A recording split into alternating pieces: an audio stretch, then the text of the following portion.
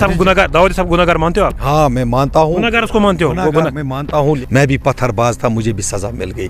लेकिन अब यहाँ पे ये चीज़ें नहीं पत्थरबाज से फिर और मॉडल कैसे बने देखो वही मैंने अपने आप को चेंज किया एक मुख।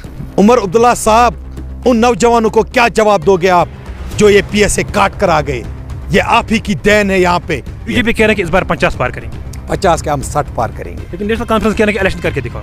इलेक्शन तो होंगे ही वो उमर अब्दुल्ला शर्म तुमको आती नहीं है। सैलाब कहाँ गए?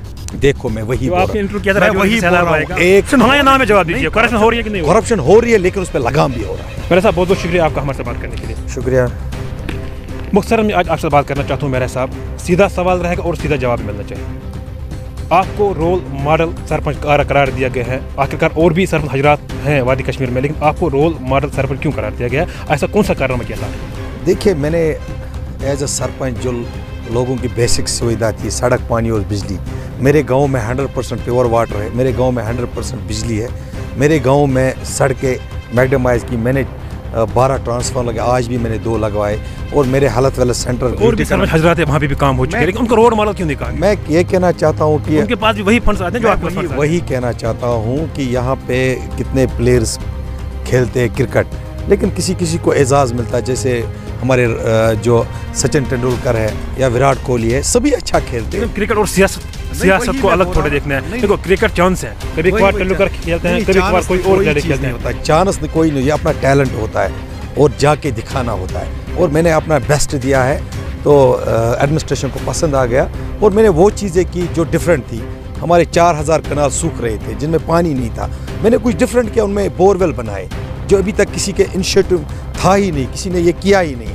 तो मैंने कुछ डिफरेंट करने की, जो लोगों के बीच में जाकर मैंने एक सरपंच को दिखाया कि वो क्या कर सकता है। तो मैंने अपने गाँव में सत्रह करोड़ रुपया ऑन रिकॉर्ड है, खर्च किए हैं एज अ सरपंच।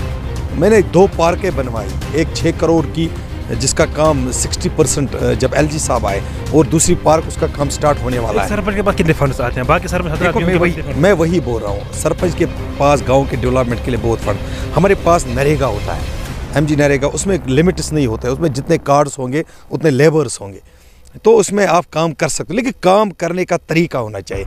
काम सही ढंग से करना चाहिए। लोगों के बीच में जाकर जो लोगों के मसाइल है वो वो करने हैं। अगर आप सही नुमाइंदे हो तो आपको गाँव का काम करना है जो गाँव की गाँव की यहाँ मानसबल में मौजूद हैं और एक खूबसूरत मंजर है यहाँ पे खूबसूरत नज़र है यहाँ पे। मानसबल को बढ़ावा देने के लिए मानसबल को प्रमोट करने के लिए और ज़्यादा क्या कुछ करने की ज़रूरत है? देखिए मानसबल जो हमारे टूरिज़्म है वो बहुत ही इनिशिएटिव लिया है। पिछले अगर सालों से देखा जाए तो मानसबल को नक्शे पे लाया है टूरिज़्म के। तो काफ़ी टूरिस्ट भी आ रहे हैं और अभी काम हो रहे हैं डेवलपमेंट। अगर पिछले दस साल पहले देखा जाए तो मानसबल का कोई नाम ही नहीं लेता था।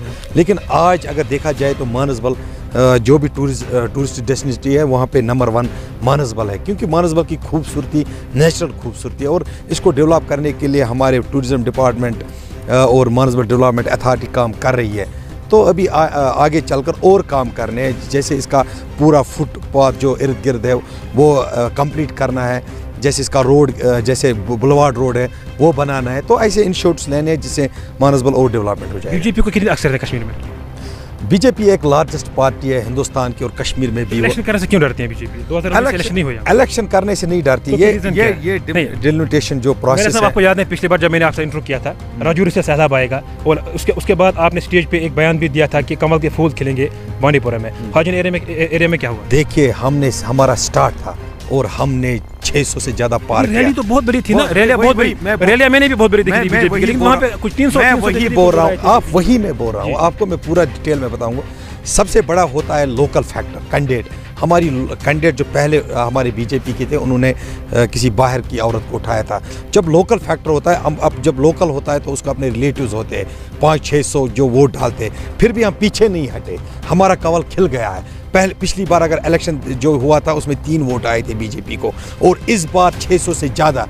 ये ये कामयाबी है कि आपने एक्सपेक्ट किया था उतना नहीं हुआ। नहीं हमने एक्सपेक्ट राजौरी से सैलाब कहाँ गए? देखो मैं वही बोल आपने रहा इंटरव्यू किया था हूँ वही बोल रहा एक होता है ये डीडीसी इलेक्शन वो वो भी बड़ा कुछ कारनामा नहीं कर कर पाए। वो भी उतने ही वोट कुछ वोटों से हम पीछे रह गए। हमें वही प्रॉब्लम हुई कि हमें लोकल कैंडिडेट नहीं था। लोकल फैक्टर कैंडिडेट का जो होता है जो अपने रिलेटिव होते हैं अगर वो होता और शायद अगर रतन महराज का चेहरा होता वहाँ पे तो कुछ और ही नज़रिया होता। आगे इलेक्शन है आप देखिए ये 600 6000 में कैसे मैं बदलूँगा कुछ ही दिनों में। आज गरीब अगर आप देखोगे गोल्डन कार्ड एक गरीब के पास होता है उसको इलाज करने के लिए अब ज़मीन नहीं बेचनी पड़ती है उसको अपना गिरवी मकान नहीं ज़मीन नहीं बेचनी पड़ती है लेकिन अगर छोटी सी बात होती है तो वही- लगा दिया जाता है यूएपीए लगा दिया जाता मैं वही बात कर, कह रहा हूँ वो अलग बात है और ये अलग मार्टी पहले हम डेवलपमेंट गिनाएँगे। हमारे पास अभी फ्री राशन है गरीब के पास। लोग डेवलपमेंट अब नहीं चाहते हैं उतना ज़्यादा। लोग चाहते हैं कि यहाँ पे पुरमन माहौल होना चाहिए। लोग लोग चाहते हैं लोग हैं में वही पुरमन माहौल देने में भाजपा कामयाब हुई है। इससे पहले कैसे कामयाब यहाँ से पंडित लोग भाग रहे हैं। यही वही मैं बोल रहा हूँ इससे पहले आपको आए दिन हड़ताल होती थी। ये वो दुकानदार कैसे हड़ताल होगी? ये वही तब तो मैं पी- तब तो यूएपीए नहीं था ना तब तो पीएसए नहीं था ना। तब तो यूएपीए नहीं था ना। आज यूएपीए आज छोटी सी बात होती मैं है पीएसए लगा दिया जाते हैं तो यूएपीए लगा दिया जाते हैं। पीएसए उसी उन्हीं लोगों ने लाया जो आज जख्मों पे मरहम के बजाय उन पे नमक छिड़कते हैं। आ, उमर अब्दुल्ला शर्म तुमको आती नहीं है। क्या बात कर रहे हो? अब्दुल्ला साहब ने हाल ही में बयान दिया कि पीएसए को हटाएँगे वही उसी बात आप मुझे पूरी डिटेल तो बताने दीजिए ना। उमर अब्दुल्ला साहब उन नौजवानों को क्या जवाब दोगे आप जो ये पीएसए काट कर आ गए? ये आप ही की देन है यहाँ पे। और आज इलेक्शन आने वाले हैं और आप हो मैं पीएसए खत्म करूँगा। लगाने वाले आप हो। आप किसी को गोली मारोगे वो मर जाएगा फिर खत्म क्यों नहीं कर मैं वही बोल रहा हूँ बीजेपी किसी किसी किसी जो भी यहाँ पे इनोसेंट होगा उसको पीएसए नहीं मिलेगा। वो परवेज रसूल की तरह आईपीएल खेलेगा जो हमारा मुशतबा है या हमारा जो रांची में हुआ था उम- उमरान मलिक जो इंटरनेशनल आपकी बात नहीं मानता हूँ। तीन सौ सत्तर के तीन सौ सत्तर के बाद यहाँ पे पीएस लागू हुआ ज़्यादा या यूएपीए ज़्यादा लगा दिया जाता है। तीन सौ सत्तर से पहले क्या बात करेंगे। जो लोग यहाँ पे बंद हुए थे उनके लिए आपने कभी कभार बात नहीं की उनके लिए आपने कभी कभार बात देखो मैं यही बोल रहा हूँ जो गलती करेगा उसको सजा मिलेगी। मैं भी पत्थरबाज था मुझे भी सजा मिल गई। लेकिन अब यहाँ पे ये चीज़ें नहीं। पत्थरबाज से फिर और मॉडल कैसे मिले देखो वही मैंने अपने आप को चेंज किया एक मौका मुझे सर हिंदुस्तान ने दिया।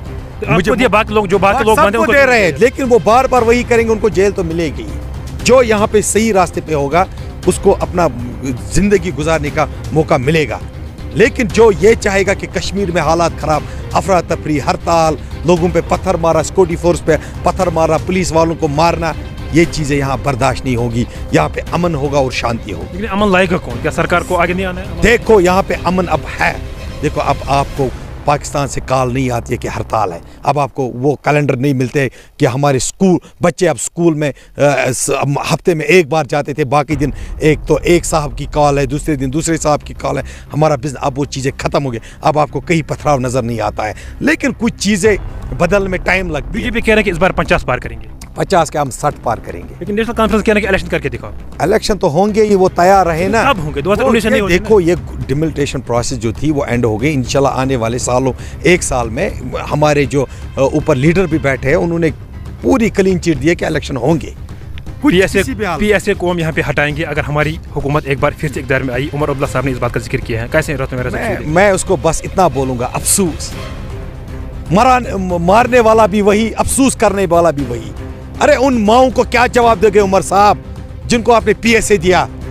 उन नौजवानों को क्या जिनकी ज़िंदगी खराब हो गई इस पीएसए से?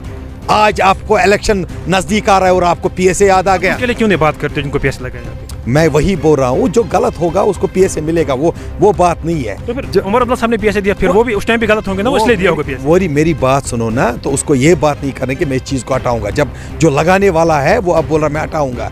उसमें जो आए हैं हमारी पार्टी का यही मोटिव है हम उस नौजवान को जैसे मैं रोल मॉडल बनाऊँ हम सबको रोल मॉडल बनाएँगे लेकिन जो अमन के दायरे में आएगा जो सिक्योरिटी फोर्स पे पथराव नहीं करेगा जो अमन से रहेगा जो पढ़ पढ़ना चाहता है जो डॉक्टर बनना चाहता है जो केस करना चाहता है आई उसके साथ सरकार है। बिल्कुल जम्मू कश्मीर के पोलिटिकल सिस्टम को आप कैसे देखिए देखो जम्मू कश्मीर पॉलिटिकल सिस्टम आज ग्रास रूट डेमोक्रेसी को आप देखोगे सरपंच पंच बीडीसी डीडीसी उन लोगों ने कितना काम किया है।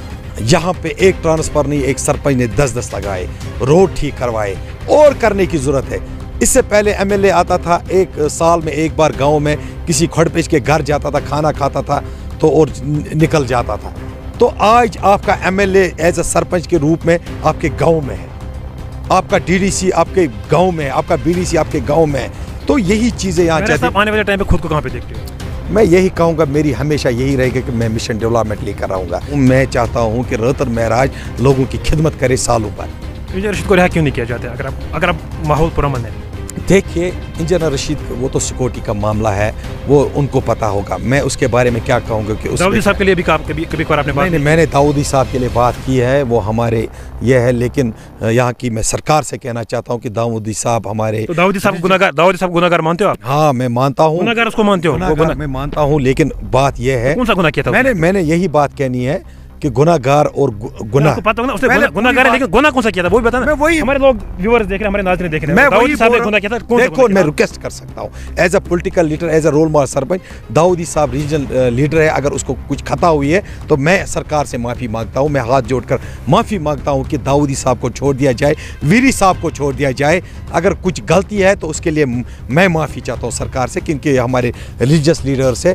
तो इन चीज़ों को नज़रअंदाज नहीं किया जाएगा कि वो हमारे रिलीजियस लीडर्स है तो मैं चाहता हूँ उनको रिहा किया जाए। बिल्कुल। आखिरी सवाल रहेगा आपसे। बीजेपी कह रहे हैं कि तीन सौ सत्तर हटने के बाद करप्शन खत्म हुई है।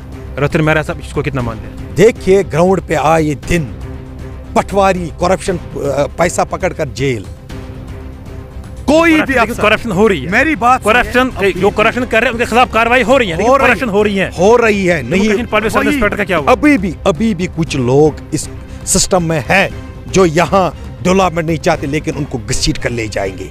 ये मेरी, मैं उनसे कहना चाहता हूँ, जो अभी तक गरीब का दर्द नहीं समझेंगे, गरीब का काम पैसों के बगैर नहीं करते उनको घसीट कर जेल ले जा लिया जाएगा। ये मैं वादा हूँ करप्शन हो। रही है आप मानते हैं इस चीज़ को करप्शन हो रही है। बहुत ठीक हो रही है। देखो आज से सजा मिल रही है लेकिन करप्शन हो रही है। Corruption हमारे नाम में जवाब दीजिए। करप्शन हो रही है कि नहीं हो है? करप्शन हो रही है लेकिन उस पर लगाम भी हो रहा है। जी बिल्कुल। बहुत बहुत शुक्रिया हमारे साथ बात करने के लिए। जी नाजिक भी हमारे साथ बात कर रहे थे रोहित मेहरा साहब जो कि एक रोल मॉडल सरपंच हैं। इनके साथ आज हमने बात की। जम्मू कश्मीर के सियासी सूरत हाल पर बात की। आज इन्होंने हमें टाइम दिया। इनका बहुत ज़्यादा शुक्र गुजार है कि आज इन्होंने हमें टाइम दिया। इनके साथ आज हमने बात की। कुछ अहम मुद्दों पर आज इनके साथ हमने बात की। जम्मू कश्मीर के सियासी सूरत हाल पर बात की। उसके साथ साथ आज हमने डेवलपमेंट पीपल के साथ बात की। आप बने रहे हमारे साथ। बानीपुरा से मैं एजाज